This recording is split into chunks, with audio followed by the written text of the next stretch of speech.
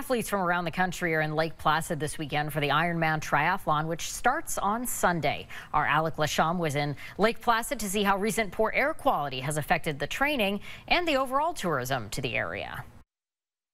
Recent bad air quality has affected towns and cities across the United States and Canada. In Lake Placid, where recreational tourism is popular, the recent bad air has posed a challenge for hikers, bikers, and lovers of the outdoors. I can feel it usually that night.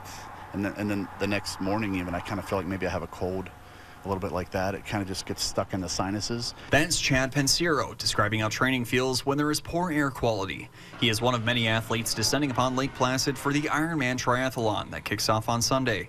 The town is known not only for its Olympic facility and triathlons, but also for hiking.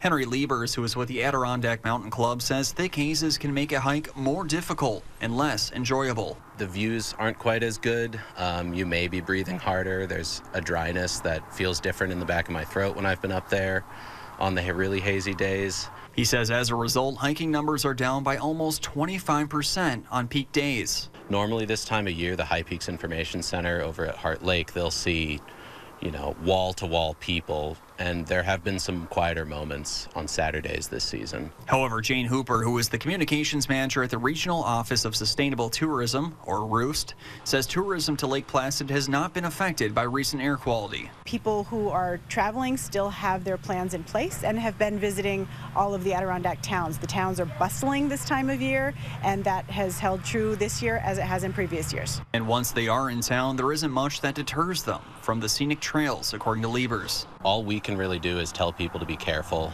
and to, um, you know, not overexert themselves if they start to feel lightheaded or, or seasick or anything like that. As for the upcoming triathlon, Hooper says the air quality is looking promising for the athletes. I think that, you know, right now our, our air is clear, the skies look great, and I think everybody's really excited for the event on Sunday. But if the haze does return, then Pensiero recommends taking precaution. Go slow, hydrate, get your nutrition plan right, but I would just say go slow and take it easy.